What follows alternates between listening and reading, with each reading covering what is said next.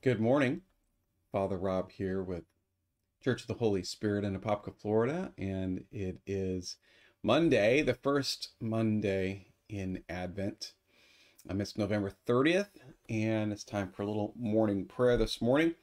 Um, I hope that you had a blessed weekend um, and you were able to worship with your church family, um, whether in person or uh, online. Take a moment, if you would, and um, find the link where, or the, take the link where you found this video and hit the share button. And let's invite others to join us. I'll remind you to do that again in a moment. um, as always, morning prayer comes from the Book of Common Prayer. It's one of the daily offices, morning and evening and we start a new season. We actually start a whole new church year um, with Advent. And so we will be um, starting on page 75 um, in the Book of Common Prayer with our opening acclamation for Advent. So if you have your BCP, go ahead and turn there. And uh, we'll get started in just a moment. Um, we'll give a little bit of time for some others to sign on. And uh, then we'll get started.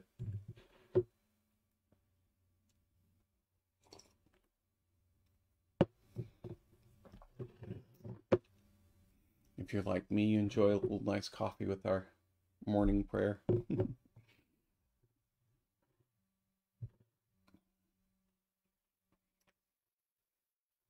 okay, it's a dreary Monday morning.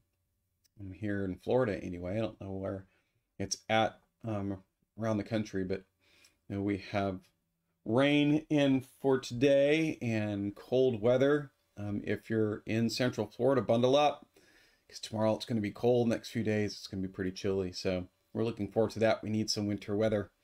All right. Um, now that we have some people signed on, and I'll remind you again, go to the post where you found this video, um, click on that little share button, and let's go ahead and invite some others to join us this morning as we share it to our own timelines. Did I do that? Yes, I did. Okie doke. All right. Well, we begin on page 75 of the Book, of, Book of Common Prayer. Watch, for you do not know when the master of the house will come, in the evening or at midnight or at cockcrow or in the morning, lest he come suddenly and find you asleep. Grace to you and peace from God our Father and the Lord Jesus Christ. Let us confess our sins against God and our neighbor. Most merciful God, we confess that we have sinned against you in thought, word, and deed, by what we have done and by what we have left undone. We have not loved you with our whole heart. We have not loved our neighbors as ourselves. We are truly sorry and we humbly repent. For the sake of your Son, Jesus Christ, have mercy on us and forgive us, that we may delight in your will and walk in your ways to the glory of your name. Amen. Almighty God, have mercy on us. Forgive us all our sins through our Lord Jesus Christ. Strengthen us in all goodness, and by the power of the Holy Spirit, keep us in eternal life. Amen. Lord, open our lips, and our mouths shall proclaim your praise. Glory to the Father, and to the Son, and to the Holy Spirit, as it was in the beginning, is now, and will be forever. Amen. Alleluia. Our King and Savior now draws near. Come, let us adore him. Come, let us shout to the Lord. Let us shout for joy to the rock of our salvation. Let us come before his presence with thanksgiving and raise a loud shout to him with psalms. For the Lord is a great God, and a great King above all gods. In his hand are the caverns of the earth, and the heights of the hills are his also. The sea is his, for he made it, and his hands have molded the dry land. Come, let us bow down and bend the knee, and kneel before the Lord our Maker. For he is our God, and we are the people of his pasture, and the sheep of his hand. Oh, that today you would hearken to his voice. The appointed psalm, actually, there are three psalms appointed for this morning Psalms 1, 2, and 3. And we'll begin with Psalm 1. Happy are they who have not walked in the counsel of the wicked, nor lingered in the way of sinners, nor sat in the seat of the scornful. Their delight is in the law of the Lord, and they meditate on his law day and night. They are like trees planted by streams of water, bearing fruit in due season, with leaves that do not wither. Everything they do shall prosper. It is not so with the wicked. They are like chaff which the wind blows away. Therefore the wicked shall not stand upright when judgment comes, nor the sinner in the counsel of the righteous. For the Lord knows the way of the righteous, but the way of the wicked is doomed. Psalm 2 Why are the nations in an uproar? Why do the peoples mutter empty threats? Why do the kings of the earth rise up and revolt, and the princes plot together against the Lord and against his anointed? Let us break their yoke, they say. Let us cast off their bonds from us. He whose throne is in heaven is laughing. The Lord has them in derision. Then he speaks to them in his wrath, and his rage fills them with terror. I myself set my king upon the holy hill of Zion. Let me announce the decree of the Lord. He said to me, You are my son. This day have I begotten you. Ask of me, and I will give you the nations for your inheritance, and the ends of the earth for your possession. You shall crush them with an iron rod and shatter them like a piece of pottery. And now, you kings, be wise. Be warned, you rulers of the earth. Submit to the Lord with fear and with trembling bow before him, lest he be angry and you perish, for his wrath is quickly kindled. Happy are they all who take refuge in him. And finally, Psalm 3 Lord, how many adversaries I have! How many are, the, are there are who rise up against me? How many are there are who say of me, There is no help from him in his God? But you, O Lord, are a shield about me. You are my glory, the one who lifts up my head. I call aloud upon the Lord, and he answers me from his holy hill. I lie down and go to sleep. I wake again because the Lord sustains me. I do not fear the multitudes of people who set themselves against me all around. Rise up, O Lord, set me free, O my God. Surely you will strike all my enemies across the face. You will break the teeth of the wicked. Deliverance belongs to the Lord. Your blessing be upon your people. Glory to the Father, and to the Son, and to the Holy Spirit, as it was in the beginning, is now, and will be forever. Amen. The first reading comes from Isaiah chapter 1 Isaiah chapter 1, we begin at verse 10. Hear the word of the Lord, you rulers of Sodom. Listen to the teaching of our God, you people of Gomorrah. What to me is the multitude of your sacrifices, says the Lord. I have had enough of burnt offerings of rams and the fat of fed beasts. I do not delight in the blood of bulls or of lambs or of goats. when you come to appear before me, who asks this from your hand? Trample my courts no more. Bring offerings that it, that is futile. Futile. Incense is an abomination to me. New moon and Sabbath and calling of convocation. I cannot endure solemn assemblies with iniquity. Your new moons and your appointed festivals my soul hates. They have become a burden to me. I am weary of bearing them. When you stretch out your hands, I will hide my eyes from you. Even though you make many prayers, I will not listen. Your hands are full of blood. Wash yourselves, make yourselves clean. Remove the veil of your doings from before my eyes. Cease to do evil. Learn to do good. Seek justice. Rescue the oppressed. Defend the orphan. Plead for the widow Come now, let us argue it out, says the Lord. Though your, though your sins are like scarlet, they shall be like snow. Though they are red like crimson, they shall become like wool. If you are willing and obedient, you shall eat the good of the land. But if you refuse and rebel, you shall be devoured by the sword. For the mouth of the Lord has spoken the word of the Lord. Thanks be to God. The second reading comes from 1 Thessalonians chapter 1. Paul, Silvanus, and Timothy, to the church of the Thessalonians in God the Father and the Lord Jesus Christ. Grace to you and peace. We always give thanks to God for all of you and mention you in our prayers, constantly remembering before our God and Father your work of faith and labor of love and steadfastness of hope in our Lord Jesus Christ.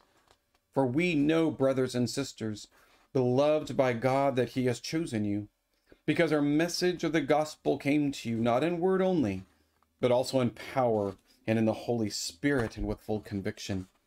Just as you know what kind of persons we prove to be among you for your sake, and you become imitators of us and of the Lord.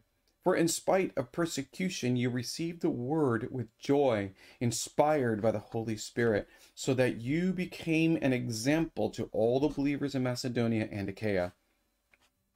For the word of the Lord has sounded forth from you, not only in Macedonia and Achaia, but in every place your faith of, in God has become known, so that we have no need to speak about it.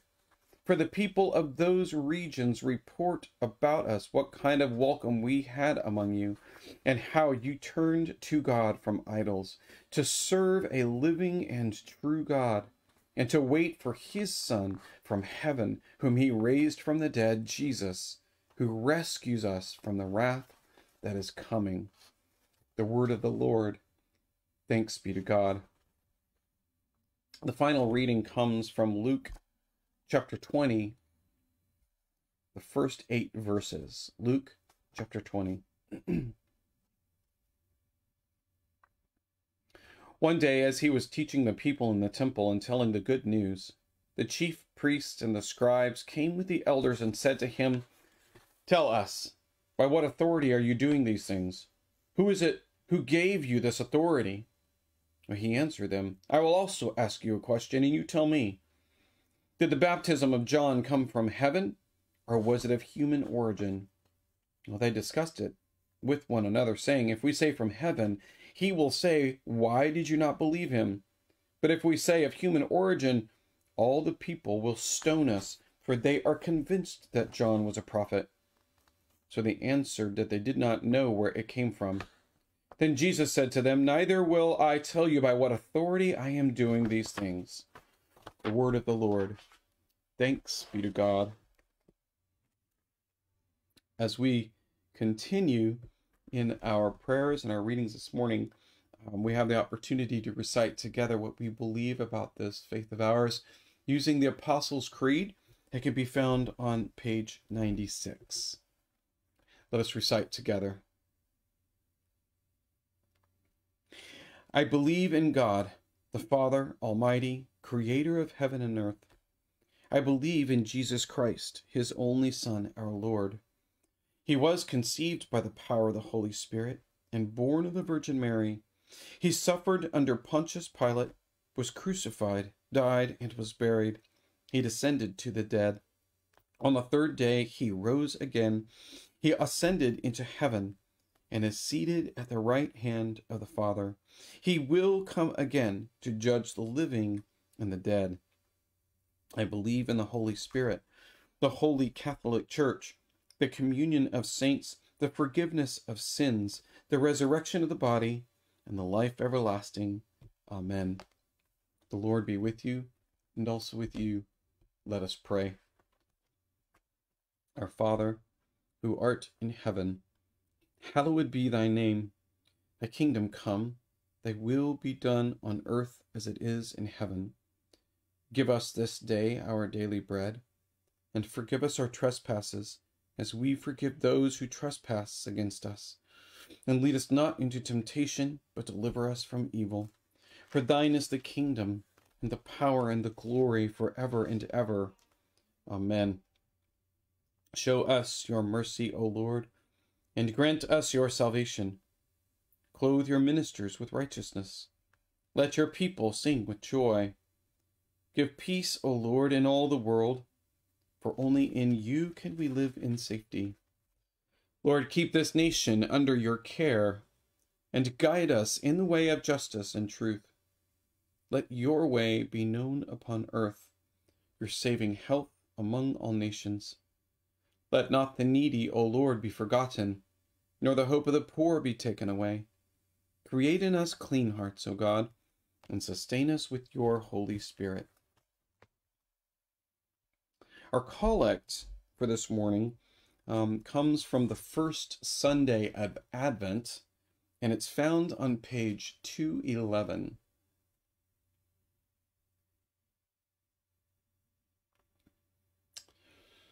Almighty God, give us grace to cast away the works of darkness and put on the armor of light now in the time of this mortal life in which your Son, Jesus Christ, came to visit us in great humility, that in the last day, when he shall come again in his glorious majesty to judge both the living and the dead, we may rise to the life immortal, through him who lives and reigns with you and the Holy Spirit, one God, now and forever. Amen. The Collect for Grace can be found at the top of page 100. Let us pray together.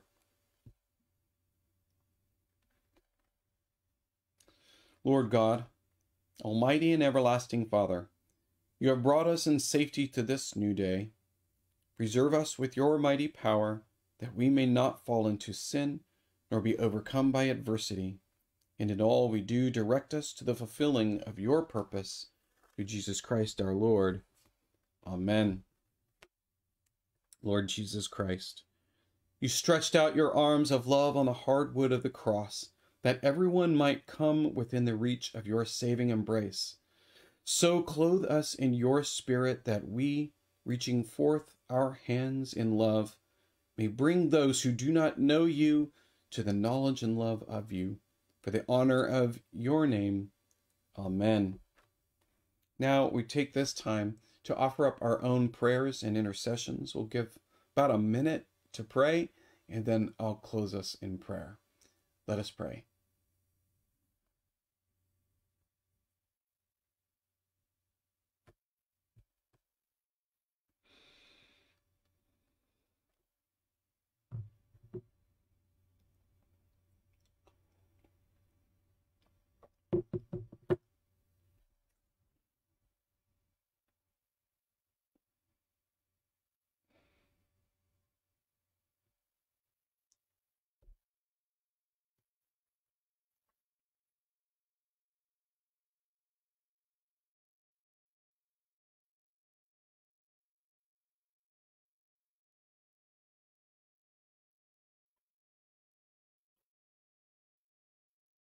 Our gracious God, Almighty King, the King of the universe, we humbly come before you this morning giving thanks.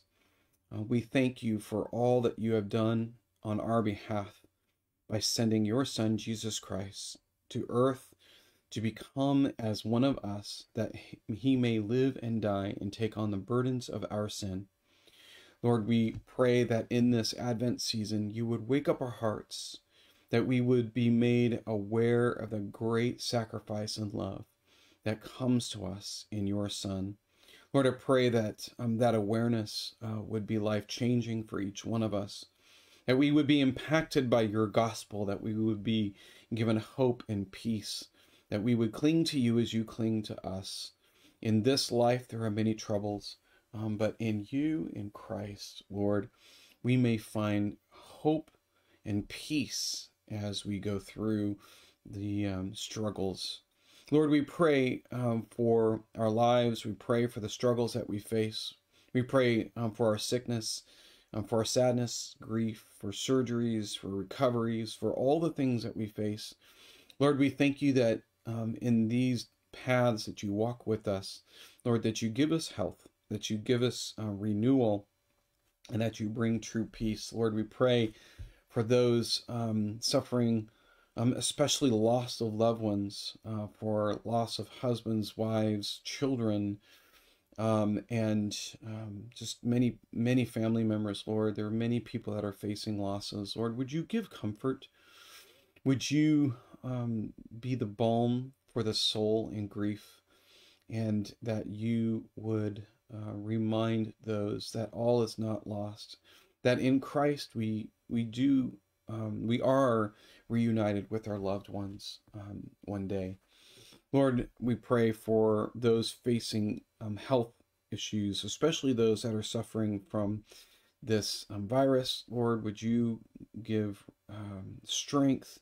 Would you give full recovery? And Lord, would you bring this pandemic to a swift end? Um, that all the means necessary would be put into place so that we may move on um, from this um, from this disease. Lord, we pray for uh, for your people to come to you, for your gospel to go forth and change hearts and lives, that you would bring hope and peace um, to a struggling um, world. Lord, we, we know that um, only in Christ can we find true peace. And so we pray that we would reminded, be reminded of the joy that comes in knowing Christ. Thank you for the hope that you give us. We pray that hope would go out throughout the, uh, throughout the world. Father, would you um, walk with us this day, that you would keep us on your path, keep us close to you, that we would not stray from your kindness, um, that you would remind us of your love, and that you would remind us of the hope that we have in glory, that one day we will rise again with new bodies and a new creation, and we will see you face to face, and we will be able to reside with you for eternity. We look forward to that day with great anticipation. We thank you for all these things. We ask them in Christ's name. Amen. As we continue, we pray together the prayer of general thanksgiving. It's found on page 101. Would you join me? Almighty God, Father of all mercies, we, your unworthy servants, give you humble thanks for all your goodness and loving kindness to us and to all whom you have made. We bless you for our creation, preservation, and all the blessings of this life, but above all, for your immeasurable love and the redemption of the world by our Lord Jesus Christ, for the means of grace and for the hope of glory. And we pray, give us such an awareness of your mercies that with truly thankful hearts we may show forth your praise, not only with our lips, but in our lives by giving up ourselves to your service, and by walking before you in holiness and righteousness all our days, through Jesus Christ our Lord, to whom with you and the Holy Spirit be honor and glory throughout all ages. Amen. Almighty God, you have given us grace at this time with one accord to make our common supplication to you, and you have promised through your well beloved Son that when two or three are gathered together in his name, you will be in the midst of them. Fulfill now, O Lord, our desires and petitions, as may be best for us, granting us in this world knowledge of your truth, and in the age to come life everlasting. Amen. Let us bless the Lord. Thanks be to God, the grace of our Lord Jesus Christ, and the love of God, and the fellowship of the Holy Spirit be with us all evermore. Amen. Amen. Thank you again for joining me this morning. Pray that you um, have a blessed day. Remember that this is Advent, that we wait in anticipation for the coming of Christ and dwell on that um, during these next few weeks as we prepare for Christmas. And remember, as always, the Lord is on his throne, he is in control. Um, he is making his will to be done on earth as it is in heaven. Trust in him, find your hope and peace in him. The Lord loves you. I love you. Have a wonderful day. I look forward to being with you again. Bye now.